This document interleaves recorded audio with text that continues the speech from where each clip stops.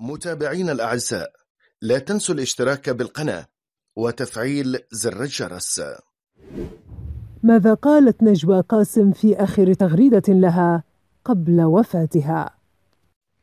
يا رب عام خير على الجميع يا رب احفظ بلادنا وعينك على لبنان بتلك الكلمات ختمت الإعلامية نجوى قاسم سنتها الأخيرة متمنية أن تحمل السنة الجديدة الخير للجميع والطمأنينة لبلدها لبنان.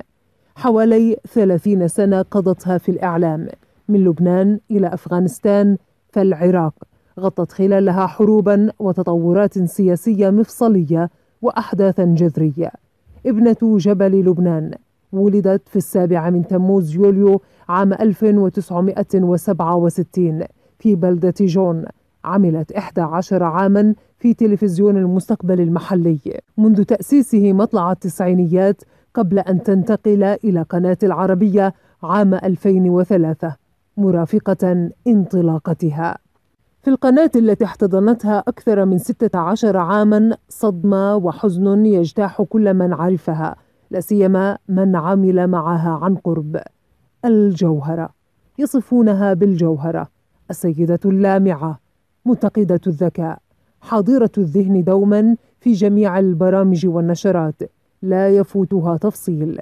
ملمة بالعديد من الملفات العربية لا سيما الشائك منها.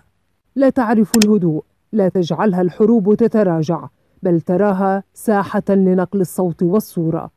عام 2004 ذهبت إلى قلب العاصمة العراقية بغداد لتغطية فترة ما بعد الحرب. فكان لها نصيب يسير منها.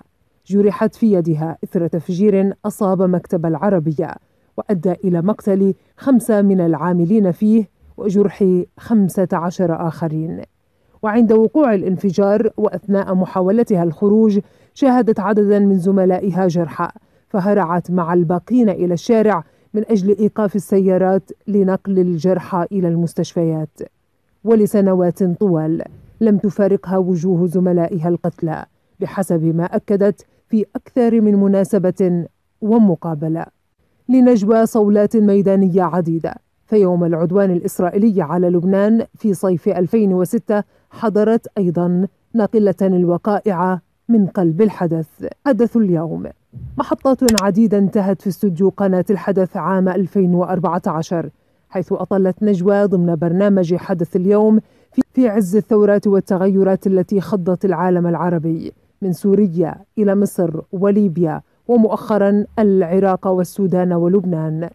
رحلت قاسم في دبي الخميس الثاني من يناير بعد أن غردت متمنية الخير لبلدها لبنان.